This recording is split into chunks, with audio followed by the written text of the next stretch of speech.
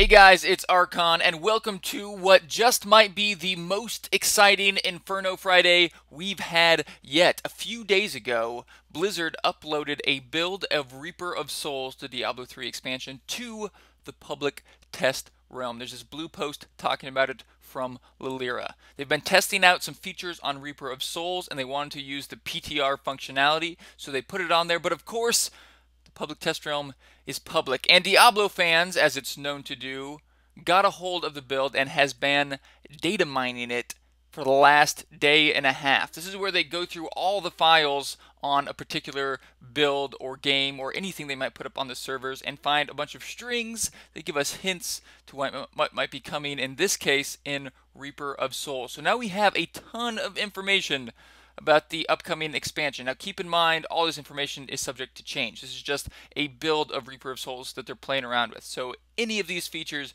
could be removed or changed. None of this is set in stone, but we kind of have a little window into what they're working with and the state of Reaper of Souls as it's in right now. Now, also, there are some spoilers in here, as it says on the Diablo fans page. So, if you care a lot about lore or bosses, you don't want to find out about that stuff, um, then this video might not be for you. But if you go to the Diablo fans page, there's a link in the description of this video. Uh, they show you very clearly where the spoilers are. It's a little bit easier to uh, to avoid them. Now, if you want to, you can read through all of this information. There's a ton of it, which is why it's so exciting. Uh, but I'll try to kind of highlight the things that I found most exciting since I've already gone through all of it. So the first thing they talk about here, guilds, clans, ladders, and seasons. Diablo fans found some strings that imply that there might be guilds and ladders coming in Reaper of Souls. And you might be asking yourself, why are they in the same section? What do they have to do with each other? Well, it looks like there might be clan ladders. They have best ladder rank, best ladder paragon level, a lot of strings here. Now again,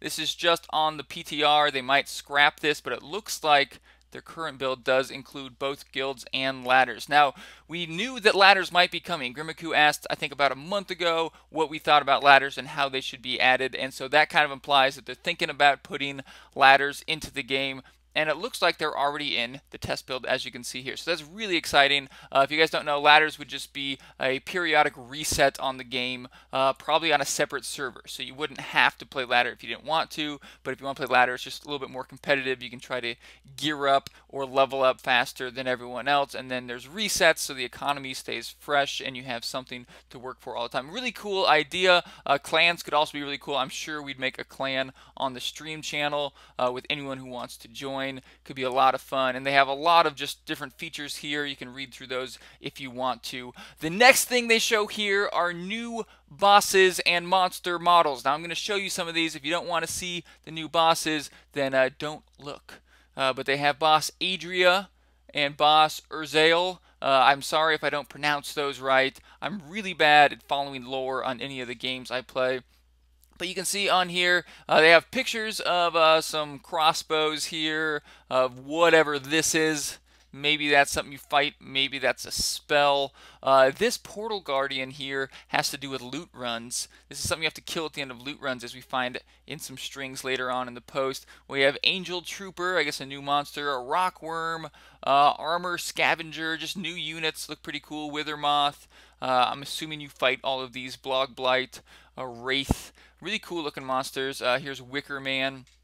And then um, if you click right here, you can see Adria, new boss, and uh, Urzael, new boss. And I wish I knew the lore behind them, but again, I follow like no lore. Sorry, guys. I know a lot of people hate me for that. Anyways, let's go back. More, more exciting news on Diablo fans awaits us. Crusader abilities. There's a little video here you can watch if you want to. It just demonstrates some of the uh, Crusader abilities um, animations. I'll put a link to that in the description as well. After that, here, let me show you a little bit of this. Here we go. Yeah, abilities. We've seen some of these in the in the videos we got from Gamescom, but it's still kind of exciting. After that, they show some of the Crusaders' abilities, of course, all subject to change, but they have some passives here. Some of them we've already seen, some of them are new. And then Sweep Attack, Law of Justice. They have a lot of these uh, spells that have an active ability and then a passive ability on the Crusader, and that seemed pretty cool. Just uh, kind of like monk mantras, I guess. Something that happens when you use it, and then something that's always going on. Um, but some really cool things. Steed charge here. You are picked up by a magical steed, allowing you to ride through enemies without being noticed or blocked for three seconds. It sounds kind of like Spirit Walk. Um, but yeah, a lot of cool things here if you want to read through that. But I can't go through all of it because there's so much of it. This video would be super long. Um, this was really cool. Challenge strings. Now, they didn't say this was Nephilim Trials, but it sounds like it's Nephilim Trials. They have uh, five different type of challenges here, which again, I'm just assuming are Nephilim Trials. It'd be cool if they weren't. It'd be cool if it was another thing too. But these trials sound really cool. So they have Wave Trial, which is destroy each enemy wave as quickly as possible. Uh, horde Trial, slay an unending horde of monsters, kill monsters before timer ends to earn bonus experience. Sounds really cool. This one I thought sounded the coolest. Collapsing Dungeon. Loot Nephilim relics to delay the dungeon collapse and earn time bonuses. That sounds super cool. You're just in a dungeon that's collapsing, and as you pick up relics, it delays the collapse. That sounds like really intense and a lot of fun. Uh, Berserker Trial, slay monsters before they become enraged. Killing marked monsters before they enrage grants bonuses. Sounds really cool. And Goblin Hunt, find the treasure goblins before they all escape. So these, if these are the Nephilim trials for the same thing, I think the idea is when you're farming out in the world, you might stumble upon one of these trials, and then you can go into it. And as you can see here, there's a string that says, another player has started this trial. Do you wish to join? So I guess anyone could just go into the trial, and then if you're in a party with someone, they'll have the option to join you. And then there was another string that implied that you'd be able to do it over and over again until you got the score you want. And the better score you get, the more loot you get, the more resplendent chests and experience and goodies. So that sounds really cool. And then they have a whole section on game modes, and there's a ton of strings here. So I'll just cover some of them. It looks like they're going to have a story mode and an adventure mode. It explains that adventure mode is locked until you've completed story mode on any hero. Now, most people are guessing that adventure mode is just like story mode, except for it's not linear. You can travel between acts, you can go wherever you want, and it seems like that also enables uh, loot runs, bounties, and Devil's Hand. Now, we haven't heard much about bounties, and Devil's Hand is completely new, but we have a lot of information about it in the post. Below Below that, we have some strings that imply that the world is reset anytime someone starts a bounty, a loot run, or a devil's hand. I'm not exactly sure how that works, but they all say the world's about to be reset after someone starts one of them.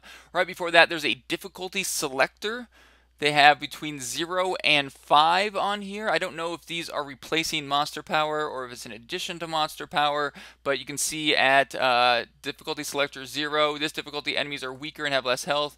Uh, difficulty selector 1, this is the baseline Diablo 3 experience, and then it just gets they get harder, and there's also an increase in experience and item drops as it goes up, just like Monster Power, but again, there's only six of them. I'm not exactly sure what um, that's going to be, if it's going to replace Monster Power or not. They have some more information about loot runs here. You can see uh, there's objectives like kill 500 enemies, kill the loot run guardian. Now, we've heard a lot about loot runs. We know that already that these loot runs are randomized dungeons that take about 15 minutes to complete. They have all the tile sets in the game. They're completely randomized, so every time you do it, it's a new looking, it's a new feel of the dungeon, it's a new layout, new monsters, and they have a random boss at the end of every run. But we got a little bit more information here with the kind of objectives they might have. It looks like you're going until you fill a bar up let's see, where does it say? Kill enemies to fill this bar. When it is full, a portal will open to the Loot Run Guardian. And then you have to go kill the Loot Run Guardian. But there's also a list of bosses uh, a little bit below this, right here. Uh, loot run bosses. Now it looks like there's a ton of them, but a lot of these appear to be duplicates. You can see if we just highlight the word skeleton, a lot of these are the Skeleton King. The Crypt of the Skeleton King, Crypt of the Skeleton King, Defeat the Skeleton Monarch, uh, Crypt of the Skeleton King. So it seems like they're the same bosses, but maybe in different encounters. Like here we have Boss Spider, uh, Little Belial, um, kind of hard to interpret what this means, but it seems like they've taken a lot of the bosses and events in the game and turned them into boss fights. Uh, it seems like we have a, a, few different versions of some of the bosses, kind of like uh, the Uber runs or different versions of those bosses. So it's hard to say how many bosses we're actually going to have, but it looks like there's a good variety. And again, these randomly generate at the end of loot runs. Uh, also, bounties, we hadn't heard much about these. What it sounds like is you can go pick up a bounty from someone in town, and it's a bounty to kill someone or a group of people. You go out, you do it, and you come back. You can only have one bounty at once. We didn't get a lot of information on that, uh, but it's part of the adventure mode as well as uh, the Devil's Hand, also part of the adventure mode. The Devil's Hand uh, seems like it might be kind of like archaeology in World of Warcraft uh, with a little bit of a twist. Uh, it says whenever you deliver a set of artifacts, uh, we will deal you in. It's hard to say what that is. Maybe some kind of gambling system. Who knows?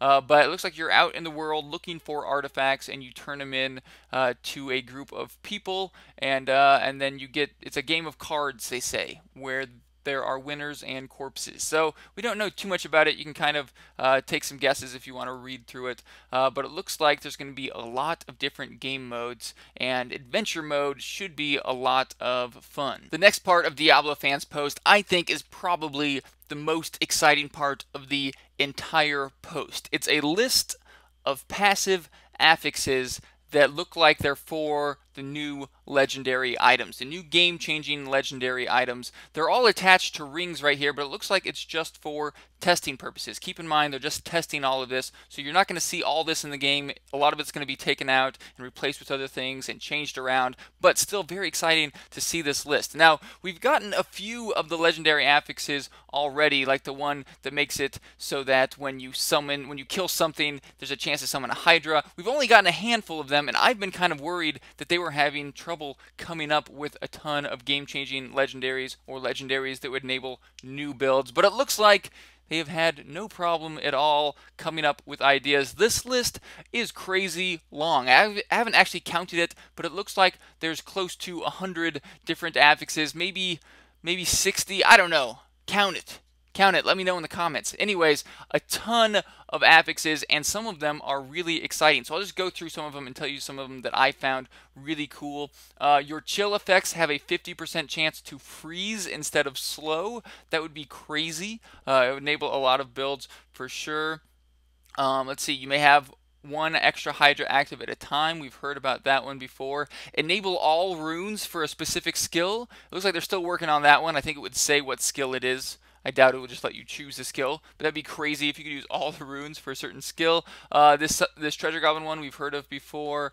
Uh, this one is for a follower, gain access to all the follower skills. That's pretty cool. Um, let's see, uh, vault now costs eight hatred instead of discipline. That could be cool. They have uh, for each element prevent 100% of that type of damage and heal yourself for the amount of prevented. So that's kind of cool. Uh, arcane damage would be great against Arcane Enchant. Um, this one, probably my favorite. Chance to chance on hit to summon a herd of murderous cows. You can summon the cow level to fight for you. That's pretty crazy. Uh, shrine effects last until death. You guys have to read through this list. If you don't read anything else, read through this list because all these affixes are super exciting and I don't have the time to go through all of them, uh, but there's a ton of really cool ones in here. And it looks like they're trying to make some new builds. Uh, they are taking out some of the OP builds. It seems like they're getting rid of permanent Wrath of Berserker, permanent Archon. I think they might get rid of CM, but they're adding a ton of builds here, or at least potentially. Um, if you look right here, here. There's an affix. Health globes picked up on release. Uh, uh, picked up release an explosion for 100% weapon damage to enemies within 40 yards. Imagine comboing that with this affix here. Enemies you kill have a 100% chance to drop a health globe.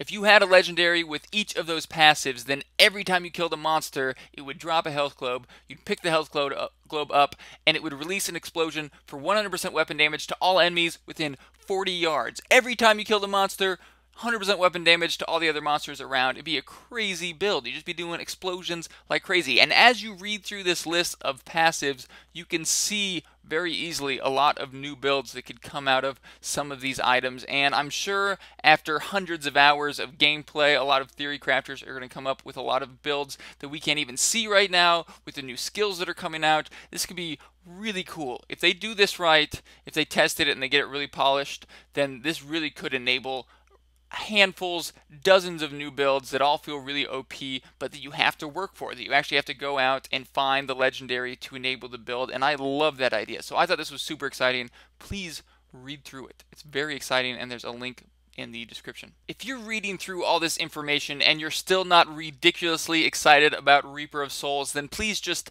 check your pulse. That's the stuff that I found most exciting about the post, but there's still a ton of information I didn't cover. It's just a little less exciting or we've already heard about it. Uh, you can see here Paragon bonuses. They list out all the bonuses they have currently for Paragon. Uh, we've seen pretty much all of this already though, but you might want to look through it anyway.